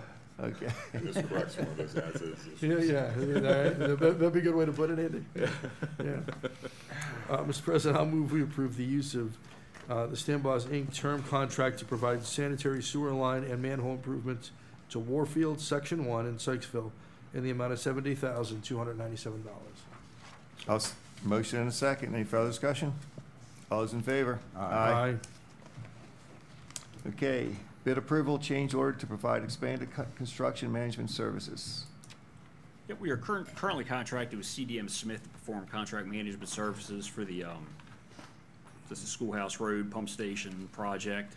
Uh, we'd like to expand, expand their scope of work and services, uh, so we'd like to make a change order to that current contract in the amount of thirty-two thousand, one hundred and sixty dollars. What do you mean expand their, their scope of services? We, we have a vacancy in utilities and the vacant uh, slot would, would be the project manager for, for, for this construction project. We simply do not have the manpower in place right now to take care of these responsibilities. So they would just provide project management services. Right. Yeah. But we are looking to fill that spot, aren't we? We are. Okay, okay. Of course, the delay in filling that spot will offset some of the costs that we have to absorb somewhere else anyhow, right? for That's correct. Project management, yeah. Okay. All right, Mr. President, I'll move that we approve the change order request for expanded construction management services for the Schoolhouse Road Pumping Station and Force Main Project to CDM Smith in the amount of thirty-two thousand, one hundred and sixty dollars. Have a motion, I'll second that. Any further discussion? All those in favor? Aye. Aye. Thank you. Next, bid approval, gaming square improvements. Next, we'd like to award a contract to Mid-Atlantic Utilities in the amount of one hundred and fifty-eight thousand, eight hundred and forty-five dollars to perform the gaming square, um, improvements. That's in the Robertsfield community of Hampstead. What does that mean? Gaming square, I don't know. Um, it, it, it's a road name. There, it, it, it- it's a townhouse, uh, community. This, this, these improvements involve two clusters of townhouses uh, totaling, uh, fifteen units. What has happened is the, um, the, the sewer laterals leave the rear uh, of the properties and they, the, um, laterals and the cleanouts are approximately twenty-four feet deep until they reach the sewer main. They were built in nineteen eighty-nine with, uh, PVC piping. The PVC piping is, is unable to withstand the, the, the shear forces that have been in place over the course of time. Over the past three years, we've had five failures out there with, with with laterals. They cost about twenty-five to thirty thousand apiece to correct. So this will install a, a, a new main at a much higher, uh, uh, um, uh, depth, uh, a lower depth, which will enhance the system and prevent any future, uh, service calls for the area. So What's the new pipes gonna be made out of? uh, high, high, high, high density plastic. Yeah, the Uh, C900. Current, current state of the art, yes. Right, C nine hundred, which is the blue pipe that we're using for current, even on some of our larger parts of our system. It's a real thick walled PVC piping, um, that give. Is this in town? Yeah, th- yeah, this is within, in the center of Roberts Field off, Yeah, uh. I know yeah. where it is, but it's town limits, right? Within town limits. Yeah, you know where the, ba- you know where the basket, or the tennis courts Mhm. are located? Those, back to those townhomes, that's all part of the gaming square. Yeah. And everything comes, every, that slopes off right at where their fences are at the back. That's what, that's, those are the connections we've been running So we're responsible for all the upgrades on, We are. For, for that, because of the failures that have happened from what was, okay. for those laterals. Uh, Move that Board of Commissioners approve the use of Mid-Atlantic, uh, the use of the Mid-Atlantic Utilities term contract to provide sanitary sewer line improvements to Gaming Square in Hampstead, the amount of one hundred and fifty-eight thousand, eight hundred and forty-five dollars. I'll second that. We have a motion and a second. Any further discussion? All those in favor? Thank you. All right. Now, we're moving on to bid approval for purchase of five hundred water meters. Our next request is to award the contract to LB Water in the amount of one hundred and fifty-five thousand, one hundred ninety-five dollars and fifty-eight cents for five hundred water meters. Uh, this is part of an ongoing project. Years ago, we awarded a contract to LB Water to, uh, purchase water meters, so we've been buying about a thousand a year. This year, the request is five hundred, but we've come to you every year, um, for a portion of these purchases. So this is just a continuation of that project. Where are the water meters, water meters being replaced? Is it one particular spot in the county or just, These will be primarily in the Sykesville area. Um, w- Once, once this portion is complete, our total will be up to about eighty-five hundred iPERL type meters, and that leaves us about twenty-four hundred left to, to uh, finish the project. Right, as meters age, they read less and less flow going through them. I enjoy that as a homeowner, but. I- Yes, but it, we don't enjoy that as a, as operating our, our system. right. We need that, you know, that's the, you know, some of the revenue gap that we have. We did anticipate having a thousand, uh, you know, continuing on a thousand this year and staying on that path so we don't run into the back of having to restart the replacements again, but, you know, with budgetary restraints, we've had to cut that in half. All right. Any other questions? Move the Board of Commissioners approve the purchase of five hundred IPERL water meters and FlexNet radio readers from LB Water in the amount of one hundred fifty-five thousand, one hundred ninety-five dollars and fifty-eight cents. Second. A motion and a second. Any further discussion? All those in favor? Aye. Thank you. Thank you. gentlemen. We move on to Bid approval for Accela Management System. Oh, we have new people coming up. We have Jacob Gregory, Mike Myers, no, oh, Jacob Gregory. No, Our next request is to award the uh, annual maintenance and support renewal for the uh, Accela Land Management System to Accela in the amount of $80,246.29. This is just updates and everything that's required to keep the system current and functioning and Exactly, yeah. yeah. It, it gives us, um, the software upgrades that we need, um, as they bring out new enhancements. And it also allows us to troubleshoot issues as, as far as any problems with the software. And there's no, because of how, I guess, defined it is, you- there's not like a twenty different vendors for this. You have to go with what you have because. it's proprietary Yeah, yeah. That's what I thought, okay. So is this the time of year we renew this every year, is that? Mm-hmm. Yes. okay. What was the price last year, or for the current year?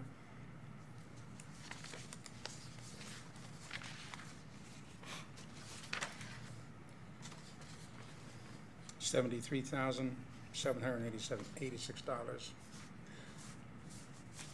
That's a pretty big hike, nine percent. Are we able to, on these multi-year contracts, we know we have an ongoing maintenance agreement upfront, negotiate caps on the inflationary figures? I think this is the biggest increase we've seen for a while, and so this is a more of a concern now, what you're saying. Uh, it's something that we intend to keep an eye on. So why don't we because tell of the- them it's too big of an increase, tell them we want them to cut it back to a three percent increase? I think part of the increase may be due to, um, we purchased some additional user licenses. And every time you purchase a license, it's, the maintenance is, goes up twenty percent for that license. So I think we did purchase, did. there's additional ten or fifteen licenses in there that may inflated that number. So you're saying the scope of this contract is broader than, the- than last year's? in terms And of the yes, number- and the it number of may licenses continue, supported? there may be some continued growth of this product in the future. But this last year, those licenses we purchased is the biggest change we've had in several years as far as the number of licenses. Okay, so you're saying this is not all inflationary, part of it is an increase in the quantity of licenses supported?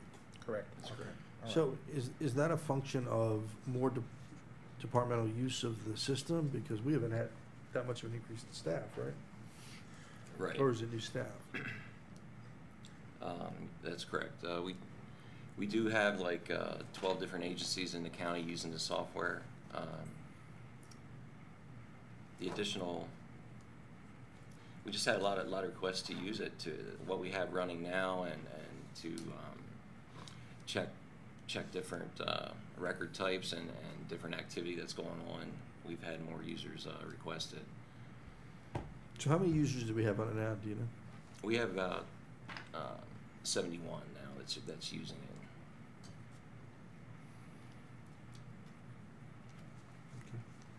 it. And uh, I don't expect that, that number increasing going forward. We have almost all the users that I think that are gonna be using this land management system. Um, What, what Jacob's referring to is down the road, we still wanna get GIS up and running, um, Yeah. Accela GIS. And, and that may, depending on, you know, what we find out with that and, and who it's gonna benefit and, and, and who needs it, that's where the, you know, additional, it may increase down the road once we get GIS up and running. Okay. All right. Any other questions? I don't think so. I'll move we award the contract for the Accela Land Management System annual maintenance and support renewal to Accela in the amount of eighty thousand, two hundred and forty-six dollars and twenty-nine cents. Second, Motion and second. All those in favor? Aye. Aye. Thank you. Now, the last item for this morning is bid approval for 18 mobile data, data terminals. Our final request is to purchase eighteen mobile data terminals uh, from Dell Corporation in the amount of eighty thousand, nine hundred eleven dollars and eighty cents. Um, As you can see from the briefing paper, ten of these are gonna be for the uh, new school resource officers, and eight are replacements for our current sheriff's patrol fleet.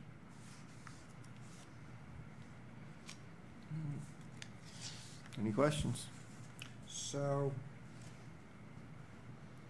ten for the school safety resource officers and eight for the sheriff's patrol fleet. Mm-hmm. Is the patrol fleet part of the school resource program? or is No, it there were separate? ten new positions for the school resource officers with ten new vehicles, so that's those are those ten, and then the other eight are separate So does for the sheriff general norm- patrol. I- I- My my memory's failing. Doesn't the sheriff normally pay for these things out of his own budget?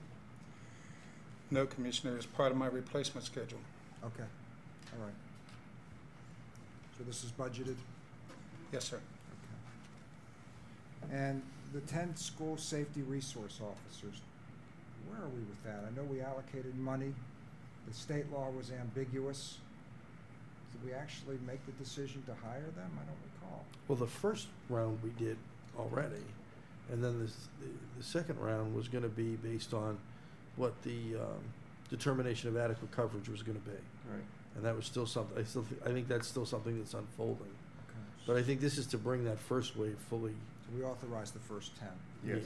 Okay, Yeah. all right, I'm good then. Okay, Mhm. thank you. All right, I'll move the Board of Commissioners award the contract for the purchase of eighteen mobile data terminals to Dell Corporation, the amount of eighty thousand, nine hundred eleven dollars and eighty cents. Second. Motion and a second. All those in favor? Aye. Aye. Thank you.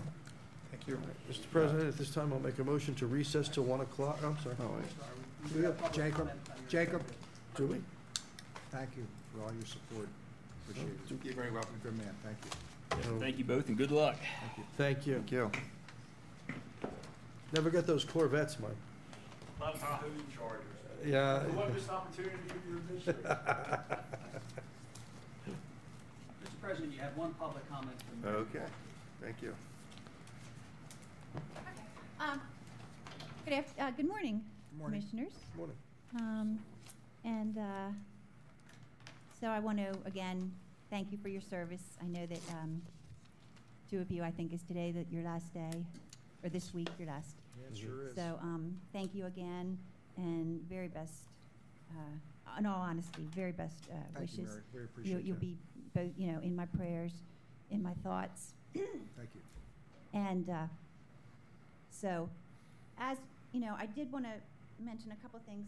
Um, uh, yesterday, I did have a chance to go on and look at the video archive of a public meeting that was held, you know, in this building uh, back in, I don't know, February, March uh, of this year. So it's been quite some time, and it has to do with this whole comprehensive rezoning issue. By the way, thank you for putting your video archives on the website. um, yeah, you guys take a lot from, from me, so you know I want to give you kudos where kudos you know are deserved.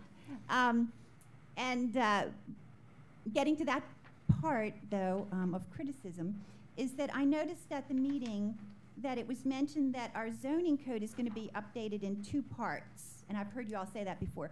First, the text, and I guess that would go to public hearing, and then the map would go to public hearing. And I, I want to really um, suggest, I'm going to be bringing this up again, um, that that be done together. And the reason is, as I was watching the meeting, I thought, you know, and I, and I heard one of the commissioners actually say at the meeting that, and I'm paraphrasing, correct me if I'm wrong, that this text change does not change the zoning.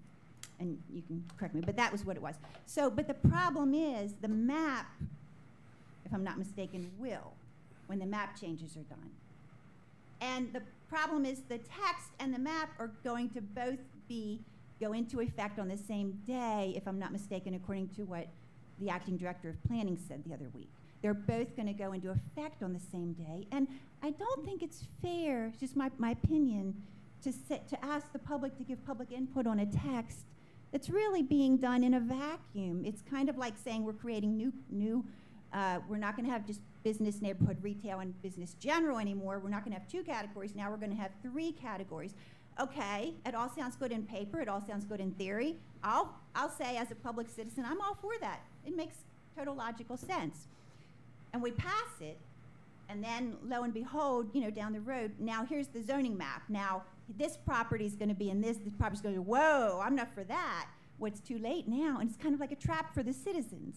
So we need to see all the information, the text and the map together, and, and not put the citizens between a rock and a hard place and kind of keep them in the dark. We really need to do it together. Thank you. and you. again, you. God bless you. And uh, I mean that with all sincerity. and you, thank Mary. you for your service. Thank you, you too. Yep.